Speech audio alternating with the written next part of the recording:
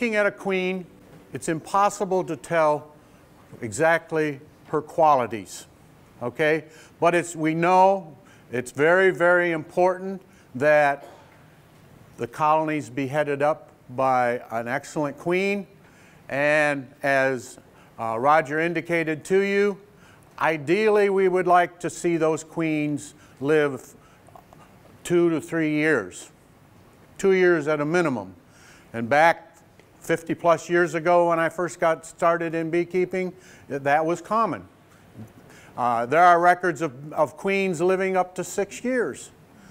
But now we're talking in months in, in many, many instances. And, and so we, we need to try to figure out what is going on here. The characteristics of your colony are related to the queen and the drones that she has mated with, okay?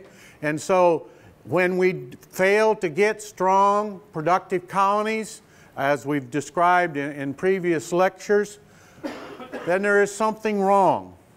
And Roger has pointed out many different characteristics that are indicating that something is wrong. From my lecture, uh, I guess it was two days ago, uh, we said that when, when you see queen cells, that tells you that something isn't right. Okay?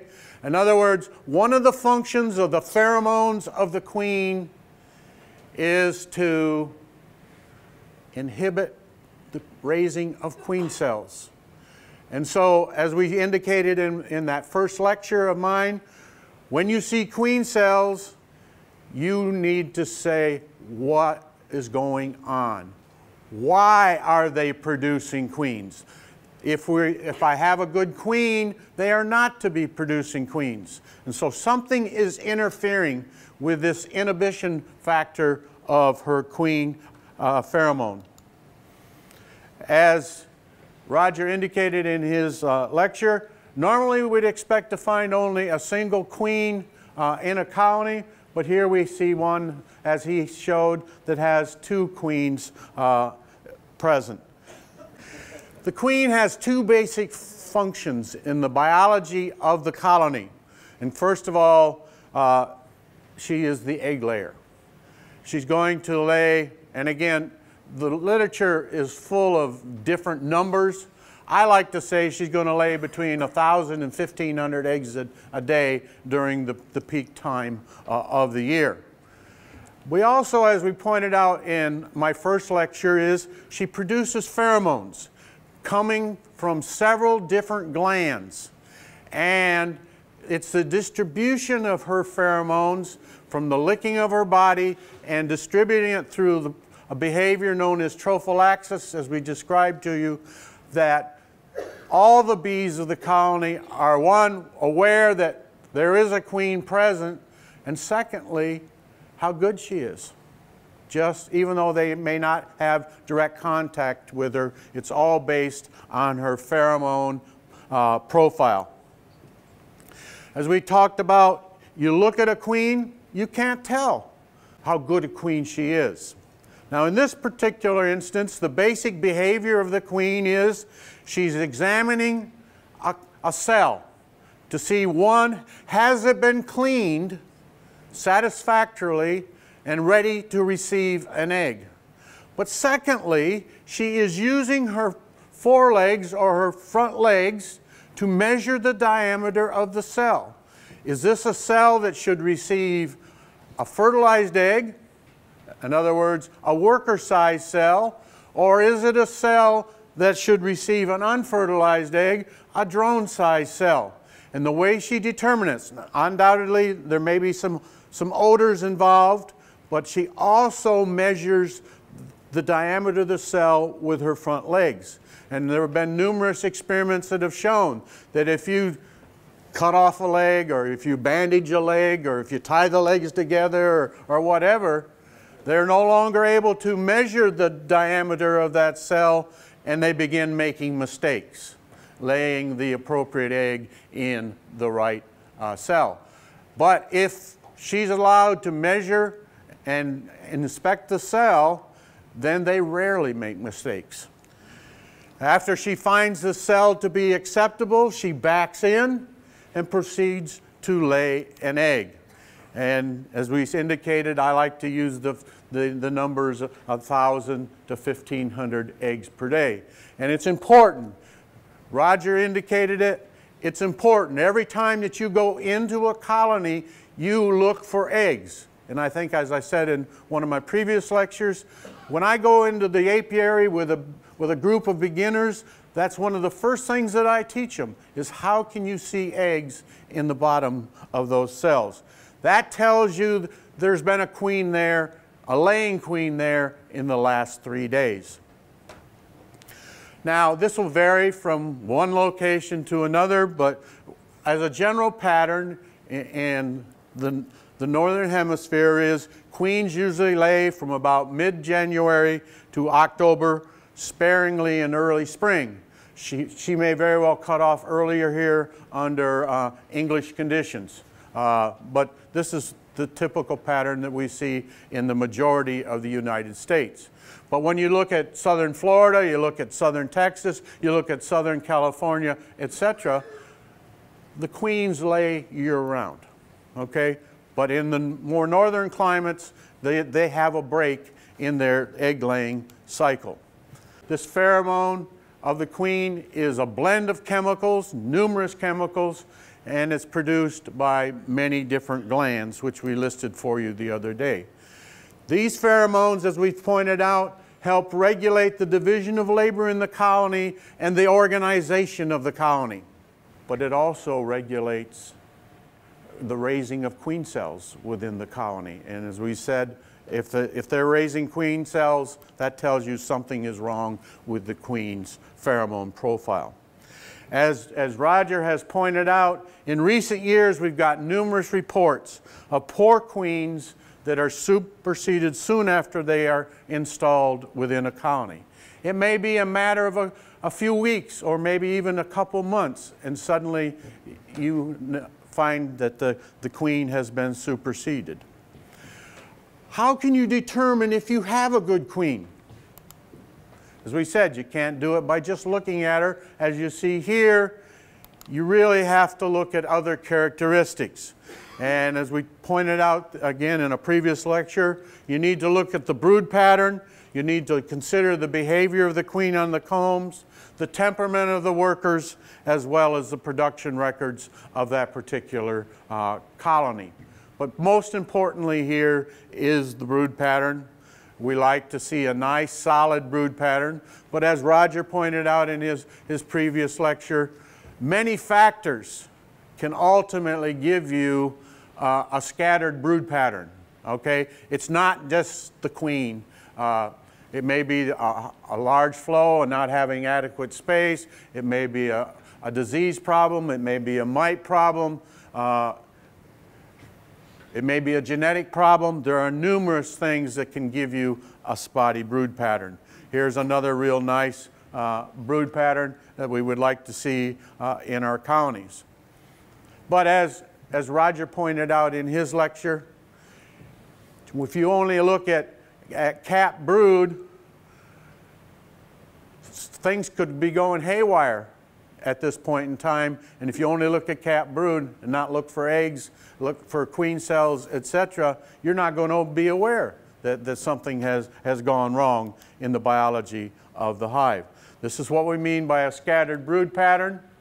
So there are many factors that affect the quality of the queen. The age of the larva when they are selected for queen rearing, the rearing conditions, the handling of queen cells, their mating success as they go out into the drone congregation areas. There are various diseases and, and various abnormalities that may uh, influence egg production and, and egg laying. And as I indicated, there are genetic problems. So there's all these basic biological factors that can affect the quality of the queen. But I suspect there are many other factors, as we're going to talk about today, that will affect the quality of the queen. And I'm just going to throw a couple out here. Uh, initially, viruses. We really do not understand the, the effect of viruses on the queen. And we're getting more and more evidence all the time that this is part of the problem. Another problem is the miticides that we're using within our hives to control varroa mites. Numerous studies, and I'm going to be reviewing some of these in, in a few minutes, numerous studies have shown if either a queen or a drone comes in contact with combs that have absorbed some of the residues of the, of the miticides that are being used within the colony, it negatively, negatively affects the reproductive state of the queen and drones as well. Uh, ideally, we, we, we preach this within the states if you are raising queens, they should be raised in colonies on equipment that has not been treated with miticides because you are likely to affect the quality of, of the final queens. As we said, queens have been failing at an extremely high rate. Many report that over 50% of queens are being replaced within six months after their introduction in the hive. So supersedure is a major problem. Roger has pointed out many other problems uh, as well. Again, we have scientists in the, in the States that have been looking at this problem and trying to determine what is actually going on. And I'm just going to review a couple studies. Uh, this one was uh, completed by Pettis and published in 2016. And he found, he examined large numbers of queens. He found that there was an issue with sperm viability. They were going through a natural mating process. The queens were receiving semen but the semen that was stored within their spermatheca had a low sperm viability. Okay? And we'll talk about what could cause that in a minute. In healthy colonies, typically they had somewhere around 80 85% uh, sperm viability. In the poor colonies, they had something around 50% viability. Well, if half of the, of the sperm are, are no good, ineffective, have lost their viability, then, then this would re relate to, to mating problems uh, and the, the ability of the queen to lay large numbers of fertilized eggs. So what could be the source of low sperm viability? It's related to the drones that the queen has mated with. And as I've already indicated, miticides are believed to be a major factor. Drones coming in contact with residues or with miticides directly, there is a reduction in sperm viability. Uh, jokingly, when we, we talk about it, we say these drones are shooting blanks when they go out and, and, and mate, so to speak. All right. Another possibility is temperature extremes during shipment. And this would be the case where you're purchasing queens, you're, in, you're importing queens. What were the conditions that these queens were exposed to while they were going through the postal system? Okay? Uh, again, Jeff Pettis looked at it. Uh, a group at Penn State University has looked at it uh, back about probably 12 years ago. And the extremes that these queens are exposed to during shipment are unbelievable. And in, in case of, of Pettis's um, study, he found that the queens were exposed to temperatures between 46.4 and 104 degrees uh, Fahrenheit. These are mated queens being shipped it causes death in, in some of the semen that's stored within their spermatheca. So these are both possible, possible reasons why uh, we have low sperm viability uh, in the queens. David Tarpy at North Carolina State University and, a group of his colleagues have done extensive studies on this as well. Um, they obtained 80 queens from breeders in California. These were, were shipped to North Carolina and when upon arrival, they were, they were weighed. The width of their thorax was measured. And you say, why would you measure the thorax?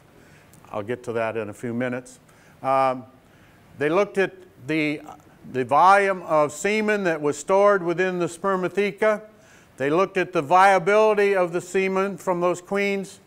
And through DNA analysis, they were able to determine how many different drones those particular queens had, had mated with. As I say, this was based on 80 queens. All right, what did they find? Well, the average sperm count stored within the spermatheca was 4.37 million sperm. Sperm viability was 83.7%, and they had mated with an average of 17 drones. These are all good numbers, okay? However, queen quality varied with physical characteristics, not mating characteristics. In agriculture, we often promote the idea of culling, getting rid of poor individuals, small individuals. Sometimes in, in, in animals, we refer to them as runts. Okay? So, it was the physical characteristics. It was the size of the, of the queens. It was the measurement of the, of the thorax. Not only the weight of the queens, but the measurement of the thorax that indicated that there were problems. Now, as I said, I would explain why would you measure the thorax? Many different measurements are taken on queens, people evaluating queens, and there are strong correlations between some of these measurements, even though it's the measurement, of the width of the thorax, say, which seems kind of uh, not necessary, but there are strong correlations between queen quality and some of these physical measurements that they make on the queens. And so it wasn't, it wasn't a mating issue. In this case, it was a physical issue, which goes back to the idea of rearing conditions, nutrition, uh, etc. So the question I want you to ask yourself today, what makes a good queen?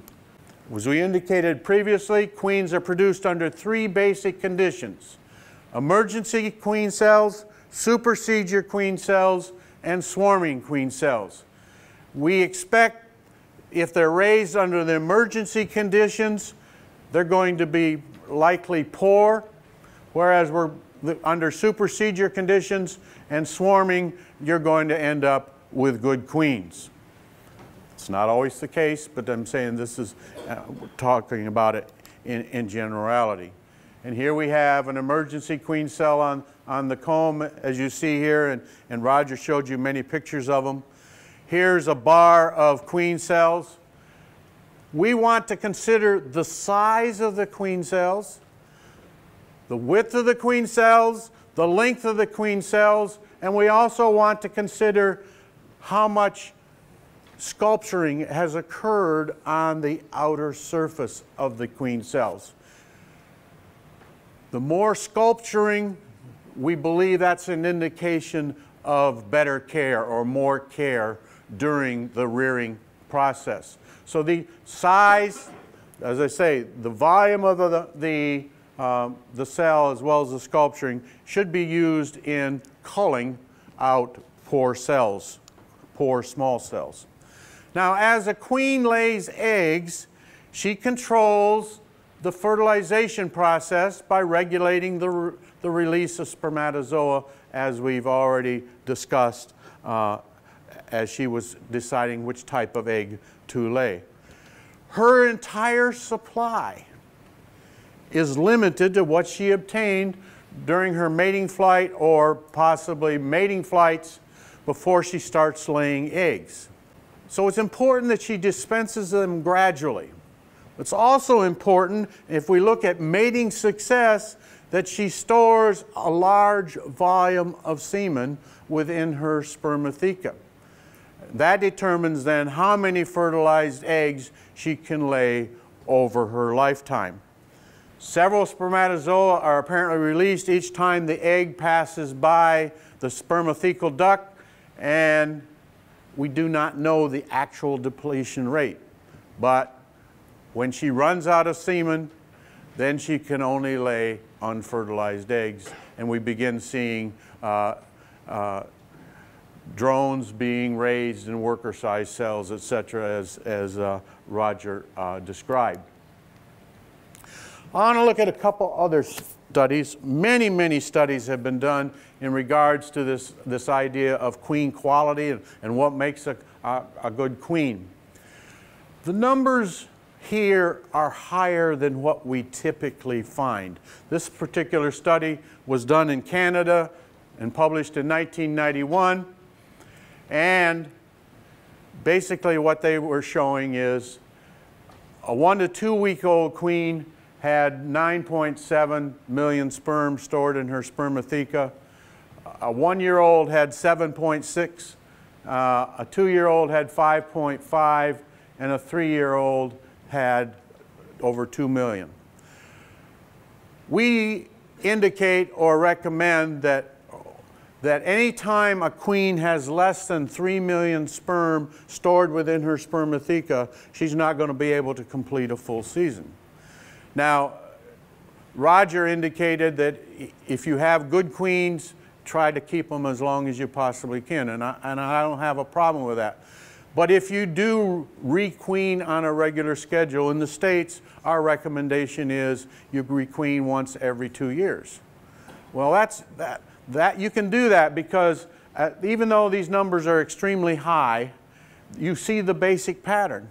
And typically, that she's going to have less than uh, 3 million sperm in her spermatheca after she has completed two full years uh, of laying fertilized eggs. Um, okay, what are the factors that affect her egg laying potential? There are genetic factors, and that could be a whole lecture in itself. There are her physiological condition, the quality and quantity of royal jelly that she's receiving from the nurse bees, the size of her ovary, and her mating success.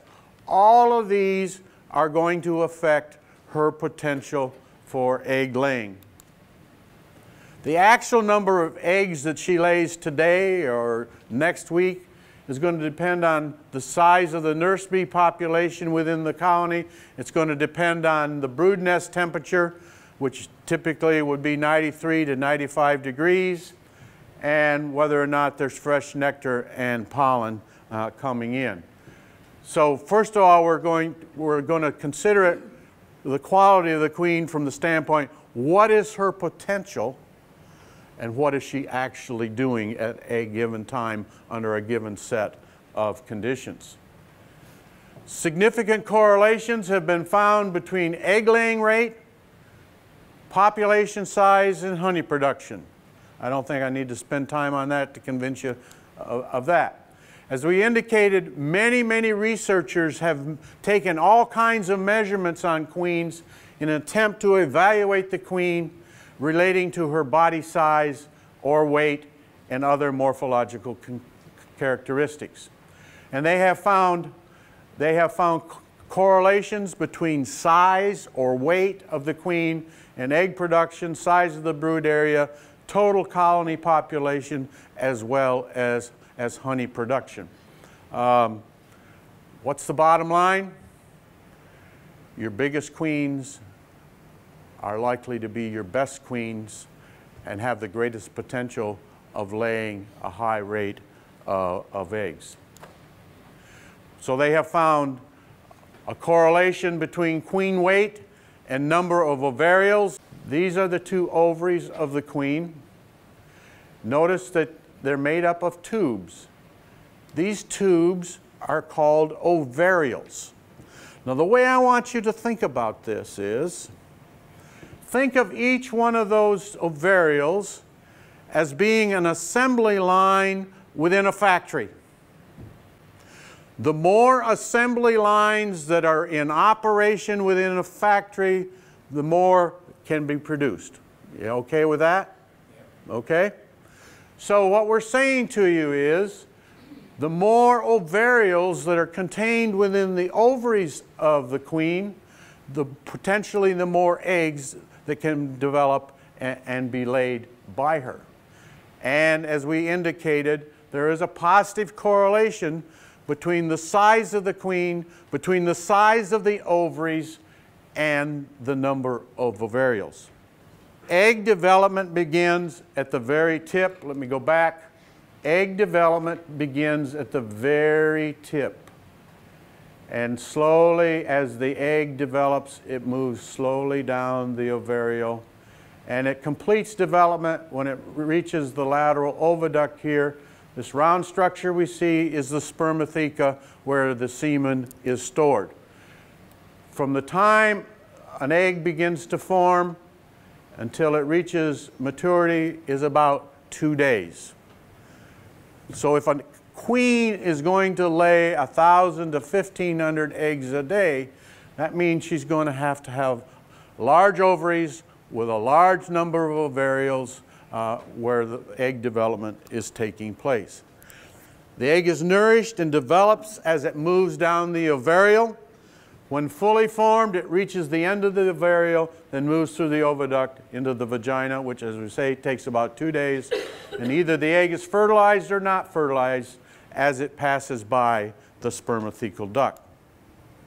They have found positive correlations between the weight of the queen and the size of the brood area.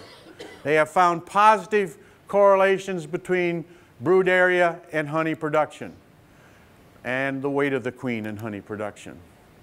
This particular study was done by Dr. Norman Gary at the University of California, Davis. Uh, heavier queens produce more brood and honey. Best time to weigh queens is when they are 12 days old and in their mating nukes. And his recommendation was, based on the study, discard between 15 to 25 percent of the lightest queens. I'm not suggesting, I'm not suggesting you go out and start weighing queens. But what I am suggesting is, as Roger indicated, when the queen emerges, you need to check your virgin queens to see that their wings are fully formed, but you also need to consider their size. And what we're suggesting is keep the larger ones and get rid of the small ones. Okay? That's the bottom line. Heavier queens have more ovarioles per ovary and thus potentially can produce more eggs. Dr. Al Dietz at the University of Georgia back in, in the 80s was able to show that queen weights are correlated with queen acceptance by workers and hence may indicate the value of the queen. So if you're not culling them, the bees are going to. Okay, so keep that, that in mind. But the heavier queens are most likely to be accepted and uh, maintained. How many ovarioles should we have? Again, numerous studies have been done that have shown that ovaries contain anywhere from 130 to 186 ovarioles per ovary. Queens with 300 or more, that would be 150 which is about in the middle of, of that range that we just gave you. Queens with 300 or more ovarioles are to, considered to be of good quality. Over time, colony traits change due to different matings, and this needs to be considered when you're judging the queen. You're going to be looking at the brood pattern, but you're also going to be looking at, at her offspring. And you may notice if you spend a, a fair amount of time in, in your brood nest, you may have a lot of dark work, colored workers over a period of time and then much lighter and then ones with more strips, etc. This is all related to the, the layer of semen that's being used at that particular time for the fertilization of eggs. Now, as the semen is pumped into the spermatheca through, through muscular action, there's a lot of mixing take place, but there's also some layering uh, as, as well. But this needs to be considered when you judge your queens. Now, let's get back to the topic at hand. We talked about what is a high quality queen. Now let's think about what are poor queens, and Roger's already given you many, many characteristics associated with having problems with queens. Uh, but also we want to think about what can cause you to have poor queens. And one of the biggest factors is larval age. When was that larva selected and treated as though it was ultimately going to become a queen. All right, any fertilized egg has the potential of becoming either a worker or a queen, depending upon its nutrition and also depending upon the size of the cell and the orientation of the cell. Queen cells are in a vertical orientation in the hive, or semi-vertical in the case of uh, emergency queen cells, which are modified worker cells or even some supersedure cells, um, whereas worker cells have a horizontal orientation. Let's look at a study that was done by the Polish researcher Wojcicki in, in 1971. He selected eggs, one-day-old larvae, two-day-old larvae, three-day-old larvae, and four-day-old larvae. And then provided conditions so that they, these would be raised as queens. All right? Each increase uh, in one day of age, he found there was a decrease in the body weight of the queen, in the size of the spermatheca, in the number of ovarioles contained within their, their ovaries, as well as the number of spermatozoa stored within the spermatheca. And in this particular study, queens were both naturally mated and instrumentally inseminated. Okay? But the key here is decrease in body weight, size of the spermatheca, and number of ovarioles. So it has a lot to do with rearing condition, but more importantly, the larval age. Now, the best queens would come from eggs. But if you graft, is the technique that you use in raising queens, grafting eggs is a no-go, or basically very difficult. So ideally then we would say if you were raising queens, we would want you to select larvae that were 18 to 24 hours old. All right? The younger, the better. Because as we said, each day of increase in age, we saw a decrease in all of these reproductive factors. Now, didn't say anything about the four-day-old larvae that he used in this study. Have any idea what happened with the four-day-old larvae? He, he, he either ended up with um, intercaste, an individual with some worker characteristics and some uh, queen characteristics, or he ended up with workers. Okay? Ideally, ideally, the point in the road from a biological standpoint where they're either going to become a queen or they become a worker is at three days, sometime during that, that three-day uh, period. Uh, but the key here is back to the idea of large queens, reared from young larvae is what we're ideally we want to see.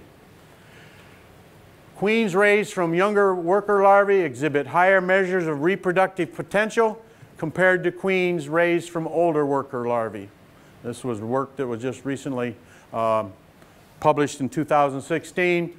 Uh, again, we've known that for years, but this particular study uh, just reinforces that, that idea. Larval nourishment. All right, it was an adequate adequate nectar or adequate honey and pollen at the time that these queens were being reared. Uh, having adequate pollen uh, is going to affect the quality and the quantity of proteinaceous jelly that the, the nurse bees are going to produce. So rearing conditions are a, a consideration, nutritional state of the colony likewise. Inadequate starter or finisher colonies result in small cells. So, small queen cells should be discarded, and as we already said, you also want to consider uh, the cell sculpturing in deciding which ones should be culled. And I guess showing this again, these would could be considered nice, large, well-sculptured queen cells that you would want to keep and, and use in your operation. They have also shown that the volume and the length of the queen cell is a positive correlation with the weight of queens and with the number of ovarioles. This has been found in many different studies, and so this idea of large queens is extremely important. The chilling of queen cells can cause harm, or rough handling of queen cells can cause harm. Queen cells placed on their sides during the pupal stage may die, or the virgin queen may emerge with deformed legs or wings. Poor mating conditions can lead to, to poor quality queens. Wrong time of year. Low populations of drones. Drones flying that have been exposed to miticides and are producing uh, semen with, with low viability. Uh, weather can interfere with, with mating conditions. Even though Roger said don't put a lot of emphasis on, emphasis on the idea of birds, dragonflies can also be a problem in, in getting queens out mated and returning uh, to their hives. It's, it's a very minor thing, but it, it's something to consider. So the, her conditions during mating is also an important consideration. Low quality queens mate with significantly fewer drones, which significantly influences colony genetic diversity. And this was another study but was done by David Tarpy and published in 2011. Low quality queens mate with significantly fewer drones. So this comes back to the idea with this, uh, this correlation between the number of spermata, spermatozoa, and the size of the spermatheca. As I already stated this, queens with sperm counts less than 3 million are unable to ha uh, head colonies for one season. The average queen on her mating flight will receive somewhere around 50 million spermatozoa. But the queen's spermatheca normally only contains 5 to 7 million. And this is why I said those numbers in that Canadian study were high, because they started out at 9.7 million, okay? Typically, we would say five to seven million. Well, having five to seven million, that means a queen ought to be laying fertilized eggs for at least two years.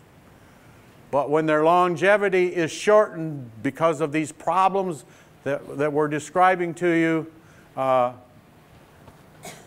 it's, a, it's, a, it's a minor a point now. Drones are sexually mature at approximately 12 days of age. But after they're 20 days old, their sperm count begins to go down. We can't control which drones the queens are going to mate with.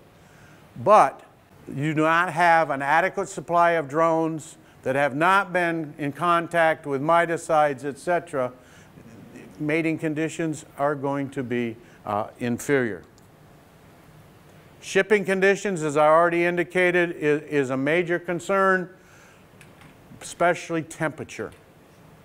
You know, the postal truck pulls in, backs up to the, the um, loading dock at the post office, and the packages are unloaded or the queen, uh, queens are unloaded, and they may sit there on the, in the hot sun for a long period of time. So how they're being handled and how they're being shipped. This comes back to the idea that Roger was promoting. It's best if you raise your own queens. You also need to realize that there are numerous, there are numerous diseases and physiological problems that can prevent the queen from laying fertilized eggs. These could be cysts, these could be cancer-like tissues associated uh, with, with their um, reproductive tracts, etc. But there are many, many factors uh, that can cause problems and keep queens from laying fertilized eggs. So either a lack of fertilization, unsatisfactory fertilization, or exhaustion of the sperm supply stored within the spermatheca can all lead to drone layers or a queen that's unable to lay fertilized eggs. There's also pathological drone layers. Many diseases negatively impact the quality of the queen and her performance. This study was done way back in, in the 60s, and the evidence was very, very strong. But the, the beekeepers in the States really didn't pay much attention to it or didn't seem to be too concerned about it. Nosema disease. Of course, now we have two nosema diseases. All right? This was with Nosema apis. The new one is Nosema ceranae. And this was at a time when the Canadian border was still open. And so bee breeders in the States were producing packages, producing queens, and shipping them to Canada. After the tracheal mite, then Canada closed its border and would not allow the shipment of bees in from the States. But the important point here is packages that were coming in at that particular time, 11% of the queens had low sperm counts, 10% of the queens had nosema disease, 54% of the attendants had nosema, and 47% of the packages had nosema. Well, we've never thought about nosema having a negative impact on queens, but it does. Late packages arriving in Canada, they found that the queens had higher sperm counts, and queens that were produced in mid to late summer are best. And I suspect that would be true here uh, under English conditions as well. Early season queens probably going to have low populations of drones available, possibly nutrition at the time that they're being reared is, is a little less than, than desirable. You're going to get the better queens produced during mid-season. Back to this idea, what effect does nosema have on the quality of queens? It causes a high level of supersedure. It damages the cells lining the mid and hindguts. Metabolic processes are disturbed. Ovaries receive or suffer severe damage, and a high proportion of the eggs fail to hatch. She may even stop laying eggs. That was only Nosema apis. I suspect the same is true with Nosema ceranae as well. And the, the latest is it's been shown that drones can transmit viruses to queens by way of semen or during mating. And so we suspect that these viruses, and there are many different viruses now, these viruses may very well be affecting uh, queen quality. All right, I'm going to use this summary, but then I'm going to come back and, and directly hit the points that, that Roger was trying to make. How do you determine if you have a good queen? What, cause, what allows you to get a good queen? First of all, colonies should be headed by young, vigorous queens. Secondly, select large queens. Remember, I probably should underline the word large. Select large queens, large queen cells that have been reared when colony nutritional conditions are excellent and mated when large drone populations are present.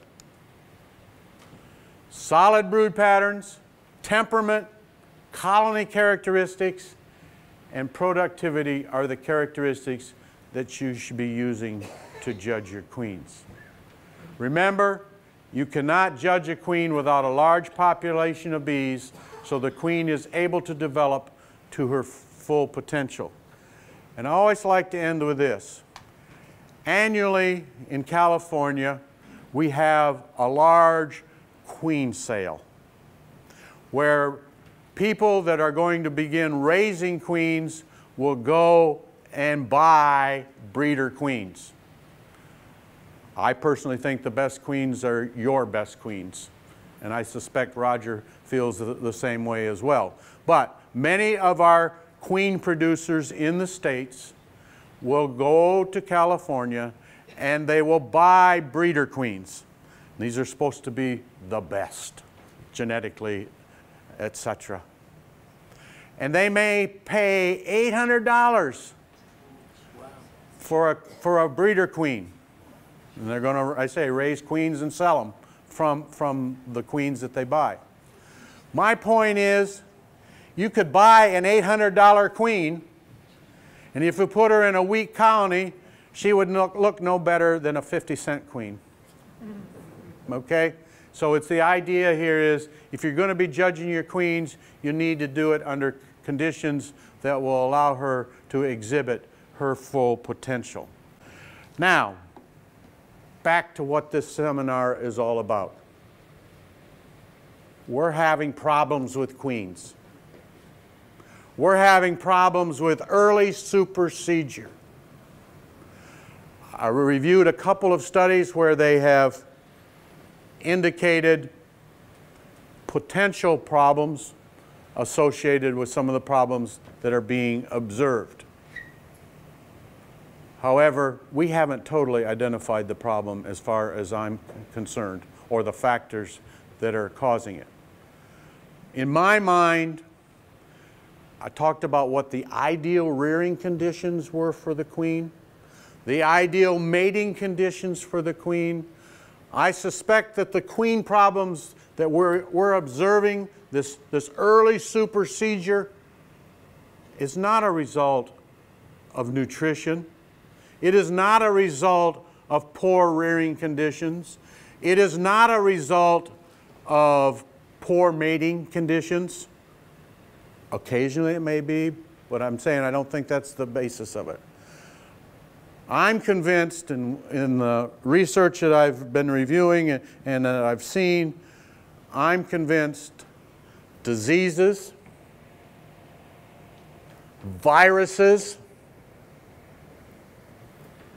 miticides are the three top issues that are affecting the quality of our queens and reducing their longevity. And with that, I'll stop, and we're going to go into a question and answer session. Do they have the same problems in countries that don't, that don't have the varroa mite? I'm, I was hoping by now that somebody would actually start doing some research, and these are the sort of areas that I think um, uh, should be looked at first, because they're the, they're, they're the easy things to do, aren't they? You know, if, it, it, it, if they've got no, no varroa, um, then, then um, no, that could be um, uh, uh, possibly lowering the, um, the, the, the viruses. No miticides, though, as well. Yeah. I suspect your, your thought is exactly right. Probably countries that do not have Varroa uh, probably are not experiencing the same problems that we're currently experiencing. And as I said, I think the viruses are certainly one of the culprits. Of course, there's a direct tie with many of the viruses and Varroa mites. And so I suspect they would probably have lower problems or less problems, but I suspect they would still have some problems. Yeah, and, and of course, the, the, the miticides as well. You, you, you, you wouldn't have them. You said that um, viruses can be transmitted in semen. Does that mean that the resulting eggs already have the virus established in, in it? That, that is definitely true. Uh, They're already, the viruses are enter- entering the queen's body during mating, being stored within the spermatheca, uh, and then the viruses begin to replicate and, and increase in number, and it's just a matter of a- a relatively short period of time, and we'll probably start seeing the negative effects from them. Sorry, there was a When you talk about miticides, are you talking about the, um, the synthetic pyrethroids, or are you also talking about the more naturally occurring ones which are used, such as oxalic acid, formic acid, and thymol? What, hard over soft chemicals? Yeah, Um, yeah, hard, hard chemicals. Yeah. The, the, most of the studies that have been done where uh, queen cells have been impregnated with uh, miticide residues, most of that work was the harder ones, the, the synthetic pyrethroids. Um, and, you know, oxalic acid in the States is relatively new. Um, thymol has, formulations have been used for, for some time. Formic acid, it was used in Canada long before it was used in the States. Um, and we just haven't had those studies done. But it's certainly the harder miticides, yes, are the ones that are causing the most significant problems. Uh, my understanding is that the Isle of Man doesn't have the Varroa mite. Has right. anybody contacted um, the, the uh, Isle of Man beekeepers I- to see if they're having the same trouble? I, I've been in touch with the Isle of Man beekeepers since 2009, so nine years. Um, to the best of my knowledge, they haven't got any problems uh, in, in, the way that we have. And going back to what Chris has said, I think that that will be one of the first places to, uh, uh, uh, to check.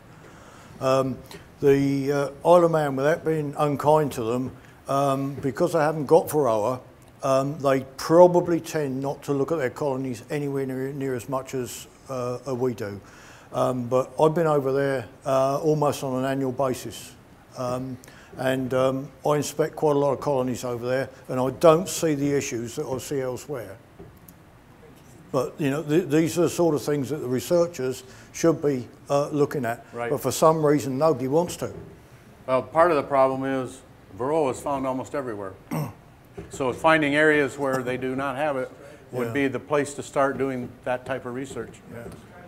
The very wax that we all buy from suppliers, that's uh, also contaminated with, uh, with uh, miticide already. So uh, it's very hard actually to, to breed from f- miticide-free wax because everything's got it in. Seems that enough. way, yes. And, and you're absolutely right, but obviously we're, we're, I think we could assume, and I'm sure there's evidence to, to support it, that uh, foundation that you purchase or wax that you purchase uh, from suppliers probably has less miticides than in the colonies where you're actually treating a couple times a year, et cetera.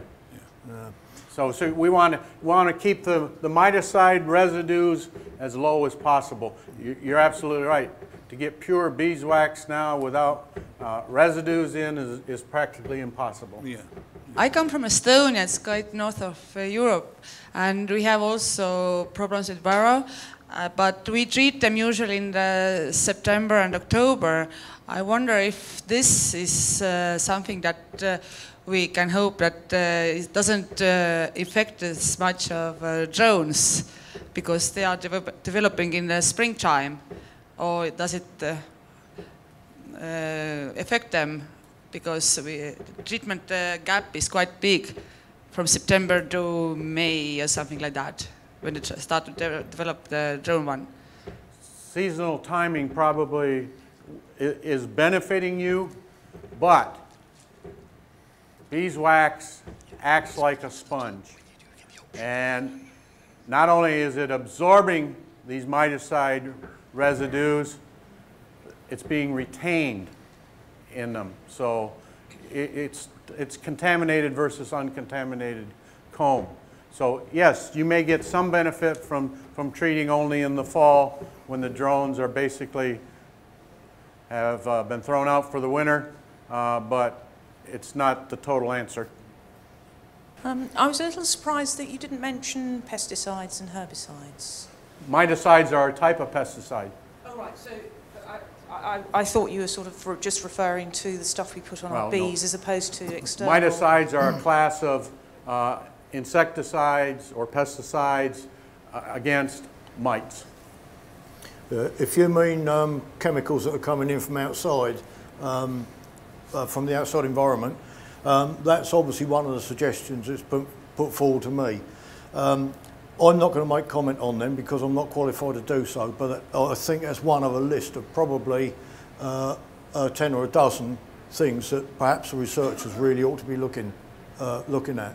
Um, I've got one or two uh, ideas of what the problems uh, might be, but I'm not a scientist. I'm an ordinary practical beekeeper, and uh, uh, But go ahead and throw them out. well, at my age, um, yeah. Um, a lot of these uh, issues are really governed by uh, by pheromones. The, the sort of things I've um, uh, mentioned, like there's absolutely no way 20 years ago you would have got emergency cells in a colony with a full laying queen. So it all of a sudden struck me that perhaps uh, pheromones being chemicals, um, we all know from our school lessons what, uh, what happens with chemical reactions. Um, I was just wondering if perhaps um, chemicals that are either put into the hive or coming from uh, outside are not reacting with the pheromones in some way. Um, now, this is an engineer giving you a, a sort of hypothesis, um, but uh, as I understand it, let's say queen substance has got about nine, nine chemicals, is it? Yes. Nine or 12 chemicals. Nine. Let's say it's, it's, it's that amount of one, that amount of, of, of number two, that, that amount of number three, and they're in uh, the, the, the right, um, right proportions. Let's say something um, uh, a chemical from outside is interfering with them and perhaps blocking one of those, um, it might just be giving the message, a wrong message to the bees. I don't know, I might be uh, uh, barking up uh, an awful lot of wrong trees, but it just seemed to me as a, as a non-engineer, a logical sort of person, that something like that might just be going on. And that certainly is, a strong possibility. Uh, I'll use the example. We said for years fungin, fungicides posed little threat to bees, but now they're finding that fungicides and fungicide mixes, uh, Tank mixes, yeah, tank mix- Yeah. mixtures, cocktails. act synergistically or act together and are causing sublethal effects or even lethal effects to bees under certain conditions. And something like this could be, these chemicals coming in, as was suggested here, could be interfering with the, the pheromone profiles of, of the colony as well. Take, take the situation with the, uh, the queens just suddenly disappearing. My thinking is that perhaps they're chugging along nicely. All of a sudden, something happens. Um, perhaps the, the, the, the, the pheromone changes. Perhaps the bees don't realise um, uh, or recognise her as a queen, don't feed her, and she starves. I don't know. I, I haven't got a clue. Uh, and I haven't yet uh, seen a queen that's dead in a colony. I've actually got one in my car, um, but it's one that somebody else found, and I, I wouldn't like to, I, I certainly wouldn't be certain of, of how she died. But she was, she was found dead on the floor of a hive in about April, April or May. I was going to ask you what Varroa treatments you'd recommend. I would say the softer the chemicals, the better. Uh, I, my experience in the United States is oxalic acid and formic acid appear to be doing a, a decent job, but I, soft as possible. Yeah. I have two questions, I may. You already said something about the varroa treatment, um, and the, the problem the miticides cause, especially with drones and viability of sperms. Um, there is some development, especially in the United States, of developing the uh, varroa-sensitive strain of hygienic bees. Um, Baton Rouge people are very busy with it, and uh, are even supplying some of this uh, stock, which or some of the queens which are resistant to varroa, to several queen breeders in California. Um, do you think that this this type of a line will spread around the world in not too distant future, or are there uh, problems with that uh, avenue which uh, uh, the researchers go? And the second question is, uh, you said several times the bigger the queen, the better. We haven't got a uh, luxury of Californian climate, and um, our springs are often very lousy. Uh, would, you, would you suggest we should always routinely supplement feeding of those colonies which are nursing the next generation of queens? All right, I'll answer the last question first. Yes, we would always, the ideal conditions for raising queens would be lots of honey, lots of pollen, diversity of pollen, uh, very little open brood, and an extremely large nurse bee population. That will provide the ideal conditions for queen development. If that's not present, not possible, then certainly through uh, supplemental feeding, uh, that, that would certainly help the situation. Yes. Both protein and? Protein more so than, than the honey, okay? I'm specifically thinking the protein area. Uh, back to your first question. Yes, hygienic stock is helpful in controlling, I don't want to use the word control, helping in reducing uh, varroa populations and lack of treatment, but it, it's, it's only one small, small step in varroa control. Yeah. Uh, so it's not going to be sufficient to do the job. It's, it's not the silver bullet that, that we might be looking for. We're, we're, we're going to have a bit of a difference of opinion here, um, simply because of where, where, where we come from. Where Clarence comes from, um, virtually all their colonies are what we would call very prolific. They're either Italian-based or probably uh, Carniolan-based, something like that. Um, with, uh, with our bees, um, they're very much um, uh, le le less prolific, um, which means that the queens don't lay the eggs, so they haven't got as many eggs going through their bodies at the same time. Therefore, they're usually smaller queens. With Italian queens, I'd say yes, uh, get, get the, uh, uh, they must be big. But I've had ever so many queens uh, that are big and have been drone layers, and I've had ever so many small ones that have just chugged away and chugged away and chugged away and chugged away and um, headed really productive colonies. So we've got a different sort of thing, and I think this is probably one of the issues we get with either books or the, or, or, or, the screen. People go on the screen and read something, must be this, must be that, must be something else. California uh, is, is different than uh, uh, Northumberland. You know, it, re- it really is. Right. Well, a little And I bit. can't disagree with that. Um, And I would So- say that the, the idea of size is only one parameter of many parameters that affect the quality of the queen. Yeah. I was just curious, it's just something that occurred to me again that uh, if there's, I'm sh- maybe there haven't been any studies, but just uh, the divide between uh, rural beekeepers and urbanized beekeepers, like beekeepers in cities like London, and, uh, and then the effects of uh, miticides.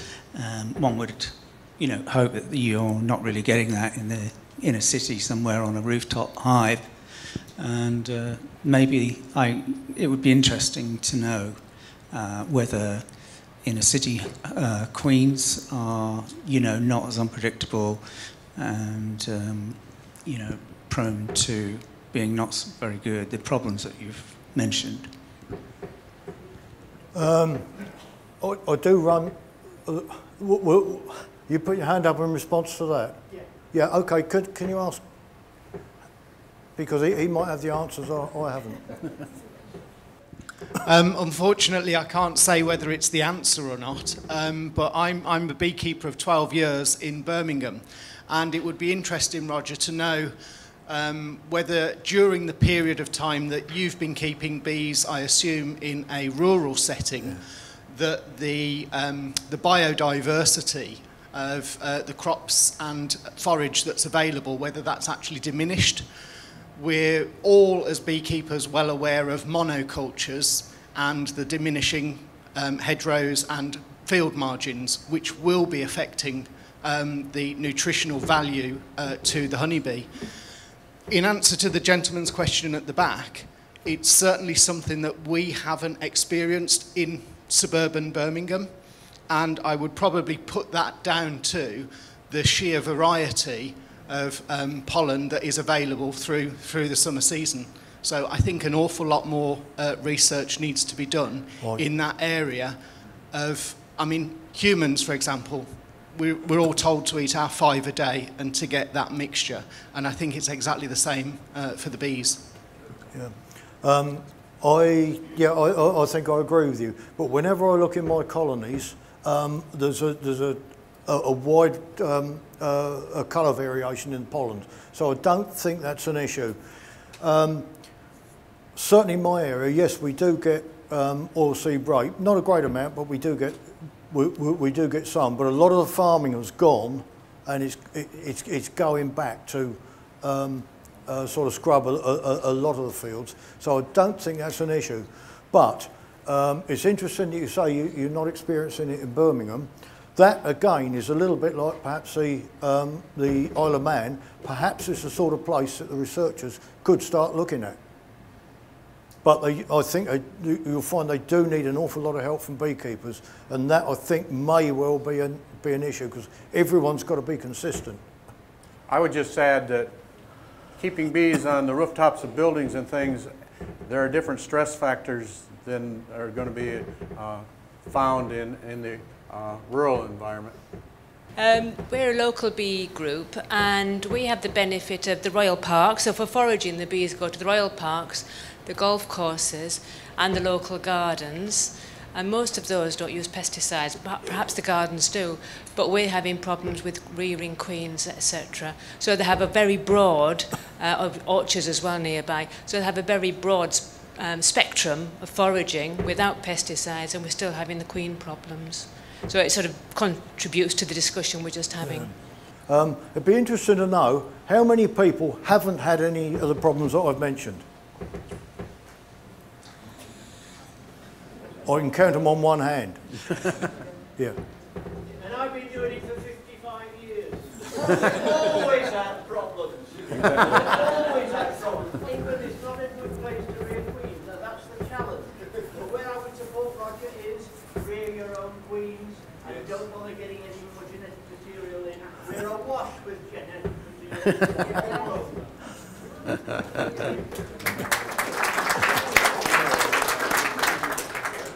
I, th- I think it tells, tells us something.